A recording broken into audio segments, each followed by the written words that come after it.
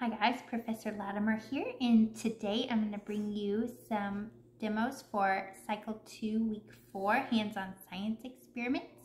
These are coming from our Van Cleves Guide, uh, page 7, number 11 and number 12, On the Move and Speedy.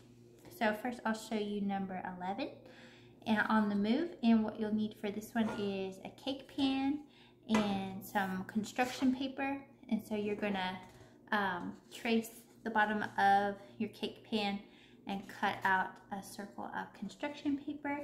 And then I also did it with a paper towel. I cut out um, a paper towel and try it with that as well. And you will need a marble. Where'd my marble go? There's my marble.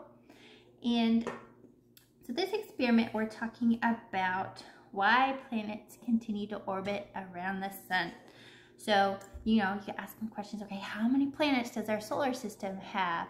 And what does it mean for a planet to orbit? We've talked a little bit about orbiting in some of our previous experiments. So orbiting is just um, the path that the planet takes around the sun. So we're learning about why do the planets keep moving in their orbits around the sun.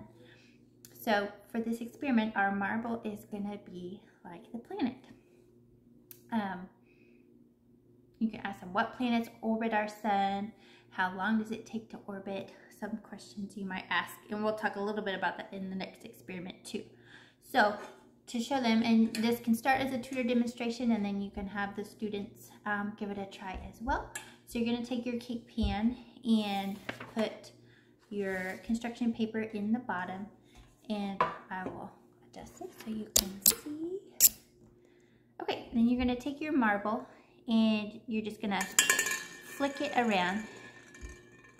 And just observe how long did that take or how many times did it go around and then did it eventually come to a stop? Okay so eventually it did and then go ahead and take out your construction paper and do it again. And observe if it spins the same or if it spins more. So we can kind of see that um, without the paper, my marble spins more times around and stops. Um, it stops faster when there's the paper. You can also try it with a paper towel and see. So it stops pretty fast there. So some questions you can ask are, okay, what is happening here? What is going on with our, our marble, our planet. It's, it's orbiting um, in its path and what makes it stop. And so you're introduce um, the word friction and ask them, what is friction? And that's just that, that resistance that, that it, it pushes against something to make it come to a stop. So um, we'll talk about this in the later week in CC, but you can introduce uh, Newton's first law of motion, which is an object at rest tends to remain at rest, and an object in motion tends to continue moving in a straight line at a constant speed, unless an outside force acts upon it. And I have Nicole Liam's notes here, and she uh, gives what Newton's first law is in her notes here. So um, an object that's moving wants to continue moving, and an object that is stopped wants to stay stopped unless there's a force that acts upon it. So ask them, is there anything when we have the paper in the pan or the paper towels in the pan, is there anything that might act upon the marble to make it stop? And, um, and that's friction. So especially you can see with the paper towel, uh, it's very bumpy and it's got a texture to it. It's not very smooth and that's what causes the marble to slow down and stop a lot faster.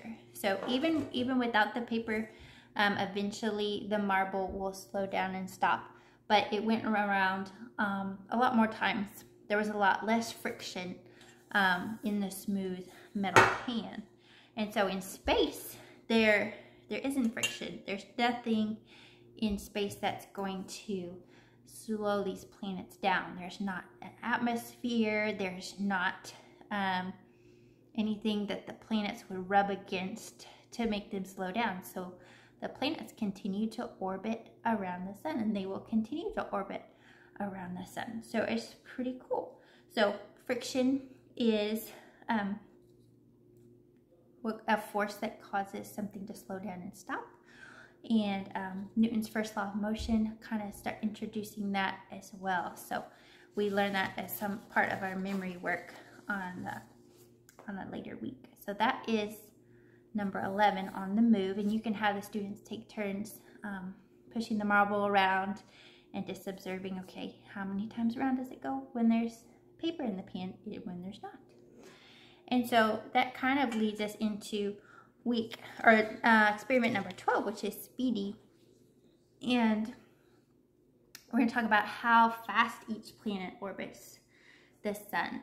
And so, you know, ask them, okay, we have um, all these planets in our solar system. Are they all moving at the same speed?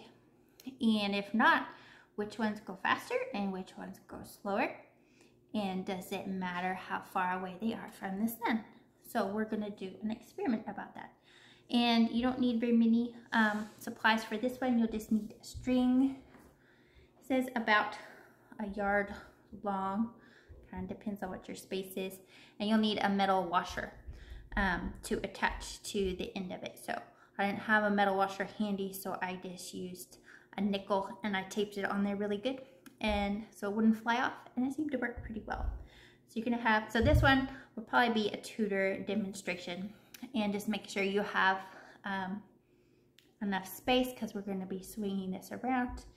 Um, so just make sure you have space and um, it'll be fun. So we're gonna determine the effect of distance on the orbiting planets. And so some questions you could ask, and Nicole has some good questions to ask. How far away is each planet from the sun?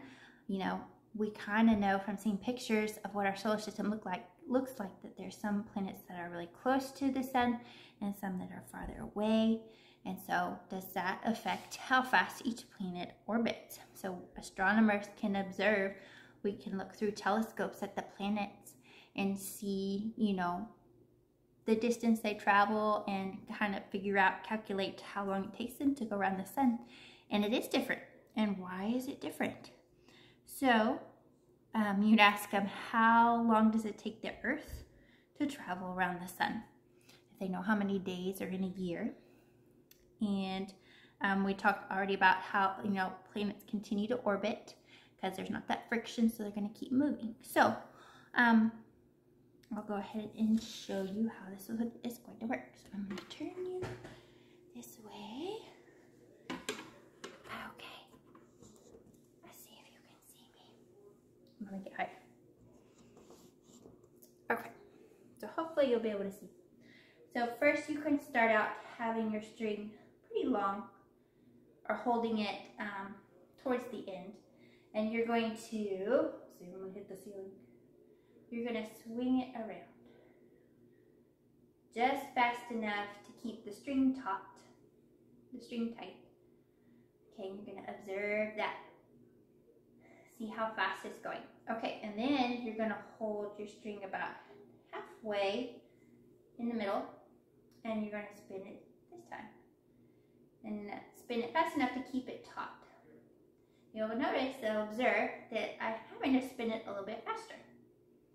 Okay, now you can hold it pretty close to your washer and spin it that way. So I'm having to spin it pretty fast just to keep it going. Okay, so that is the demonstration. And we're going to talk about why the speeds are different. And so we learned from Newton's uh, first law of motion that if something is moving, it's going to want to stay moving unless it's acted on uh, by outside force. There's no friction, there's no atmosphere to slow things down. And so why did the orbit go faster when the string was shortened? So the sun has a force called gravity. And so that's what pulls things towards it. And in order for the planets to stay in orbit, they have to move at a certain speed. And so when something, when a planet is closer to the sun, that that pull of gravity is a lot stronger. So Napoleon kind of has a diagram of when things are closer together, that force of gravity, that pull is a lot stronger. And when they're farther away, that pull is less.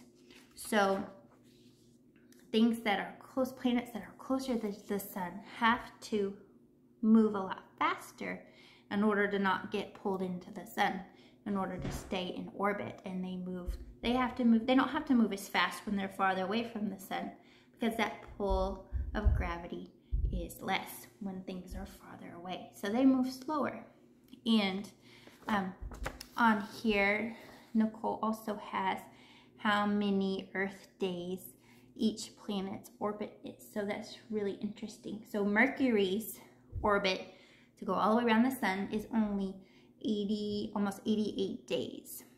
And so an Earth year is 365 days. So Mercury goes around the sun a lot faster than the Earth does. Whereas um, Saturn, for example, it takes 10,755 days for it to orbit the sun. So it's a lot farther away, it's moving slower. It's also has a bigger orbit too. So um, it has to travel a farther distance, but it is um, also moving slower. So just some things to think about. It's, it's fun to talk about the planets, and just get their the students' curiosity going about, okay, the planets are up there, but how fast are they moving and why, and why do they stay in orbit? So it's just, you know, just keep asking questions and, you know, they might have some questions and it's fun to see um, their answers. So we're talking about gravity and inertia and this is a really fun um, week of experiments.